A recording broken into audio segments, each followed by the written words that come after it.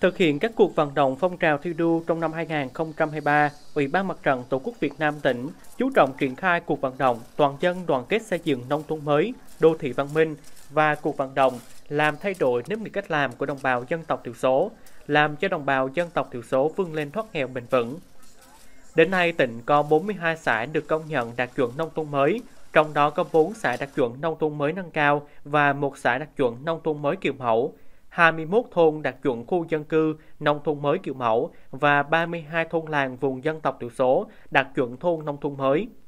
Ngoài ra có hơn 14.000 hộ người dân tộc thiểu số nghèo còn nghèo thay đổi nếp nghĩ, bỏ dần những hủ tục, không trông chờ ý lại vào sự giúp đỡ của nhà nước, tự lực vươn lên thoát nghèo. Có trên 2.900 hộ người dân tộc thiểu số cận nghèo thoát nghèo vượt chỉ tiêu 3 đến 4% so với kế hoạch đề ra trong năm.